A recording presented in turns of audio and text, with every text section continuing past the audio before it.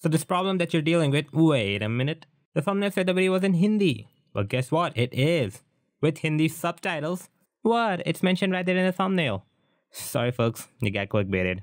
But now that you are here, I'd recommend you to watch the video till the end, because you may find the solution to your predicament. So we dealt with a really annoying problem of Niko's gyroscope going haywire, but this, oh, this is the father, no, grandfather of all the bugs and problems with GTA 4. The dictionary definition of annoying, the GPU memory problem. What makes it so annoying is that unlike the last one, this one isn't as easy to fix. I myself tried 50 different solutions. Okay, that was an exaggeration, but I tried a lot of them. And surprisingly, most of them were all the same.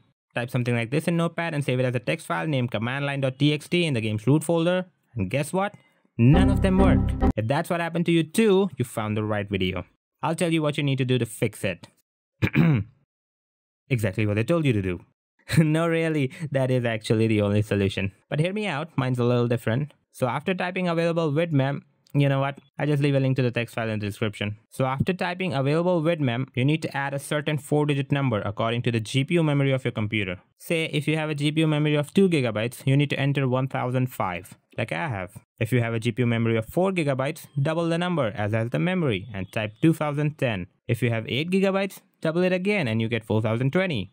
You get what I'm saying? Now, if it still doesn't work, try reinstalling the game, preferably with your antivirus turned off. So I hope it worked for you. Leave a like if it did, and if it didn't, reach out to me in comments. I'd really rather not get my head into this again, but I'll try my best to help you. Also, please check out my other videos, both tutorials and gameplays alike. And if you like my content, click the subscribe button so you won't miss any updates.